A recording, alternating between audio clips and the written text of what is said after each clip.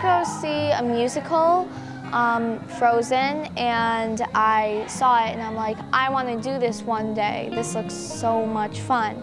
So I started singing, started looking for stuff to do at school, and then that's how I got interested in it.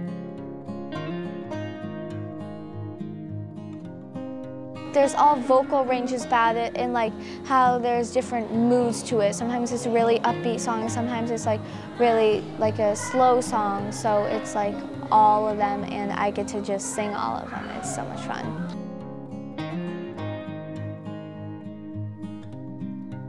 Probably last year in The Lion King because I met so many people and I had a lead role, so I really got to have quite a few solos and it was extremely fun.